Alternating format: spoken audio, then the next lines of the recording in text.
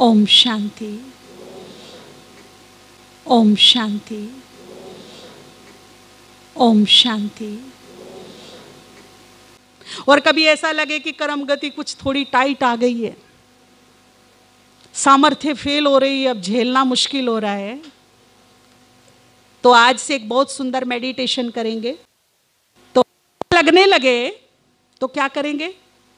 दो बहुत सुंदर मेडिटेशन की मैं आपको विधि बता के जाऊँगी, बहुत मनोरंजक है बोरिंग नहीं है। और उससे क्या होगा, हमें एक मेंटल सपोर्ट मिलेगा बाबा की ओर से। एक स्थिरता मिलेगी। ऐसा लगेगा, कोई है मेरे साथ, मुझे सपोर्ट कर रहा है।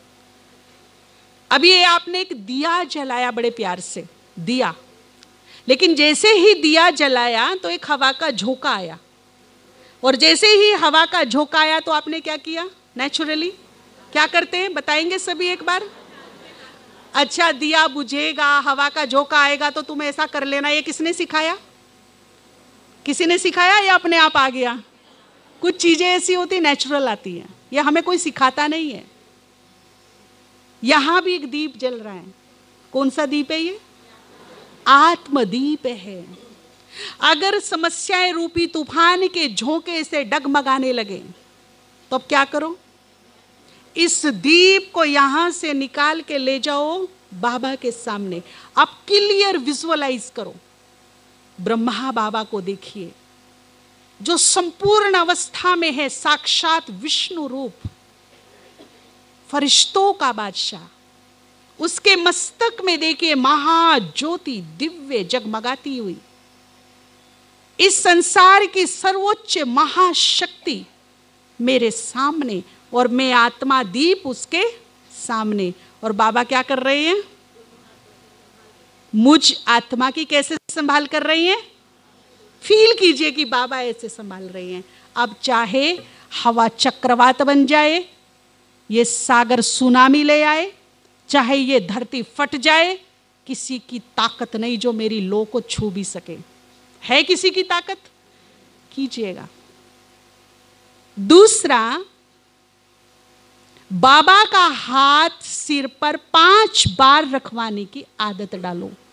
आने वाले समय में यह आदत बहुत काम आएगी। एक कहावत है, जिसके सर पे भगवान का हाथ होता है, उसका कोई भी बाल बाका? इससे ये तो सिद्ध है इस कहावत से कि कभी तो भगवान ने हाथ रखा है। अगर हाथ ना रखता तो ये कहावत ना होती।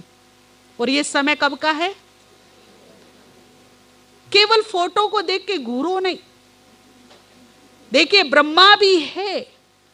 जीता, जागता, चैतन्य और एक जादुई ज्योति, महाज्योति जिसको मैं नाम देती हूँ, जादुई है। जो मुझे सुन सकता है, जो मुझे महसूस कर सकता है, स्पर्श कर सकता है, ऐसा ज्योति, जादुई ज्योति है वो। जब दोनों एक साथ आते हैं, वो मुझे बहुत अच्छी तरीके से, बड़े ध्यान से, बड़े प्रेम से सुनते हैं, महसूस करते हैं। वो है, वो फ़ोटो ही नहीं है केवल, वो रियल में है। ये सच्चाई है। तो उस हाथ को केवल, यहाँ ये नहीं कि बस हाथ रख दिया और हो गया, नहीं। उस हाथ को फील कीजिए। भगवान का हाथ का स्पर्श, उसका टच कैसा होगा। महसूस कीजिए कि अगर भगवान हाथ रख दे, वो टच कैसा होगा। ये मुझे फील करना है।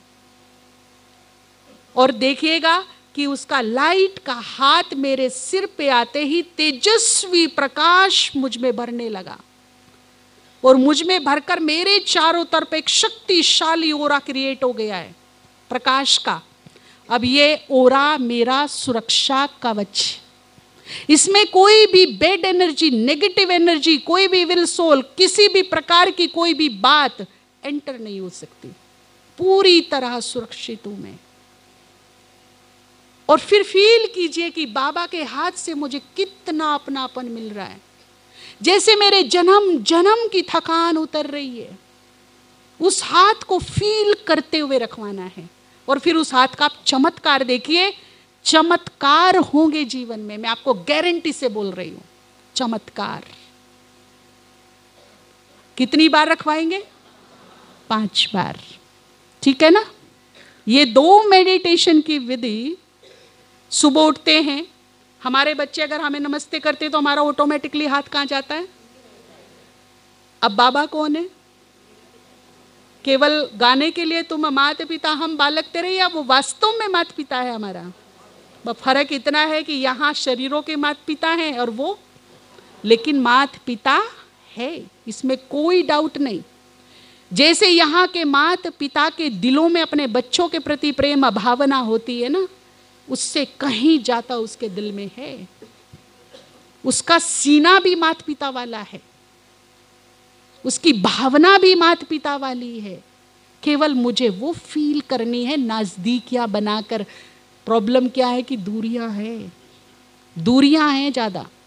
वो दूरियाँ ख़त्म करके क्या करें? जैसे ही नज़दीकियाँ बनेगी, सब फील होने लगेगा। महसूस होने लगेगा कि ये ही मेरा है। अंदर से निकलेगा प्रभु प्रेम का रस ऐसा लगेगा कि दीवाने हो जाएँगे। और फिर वो होगा, जिधर देखती हूँ, बस तू ही, बस तू ही तू नज़र आता है. तो ये दो मेडिटेशन की विधि नजदीकिया दिल से मेरा। बोझ सारे किसके साथ? पूरे निश्चय के साथ। राइट ठीक है ना? एग्री एग्री है? तो ये आप करिए, आने वाले समय में बहुत बहुत बहुत काम में आएगा।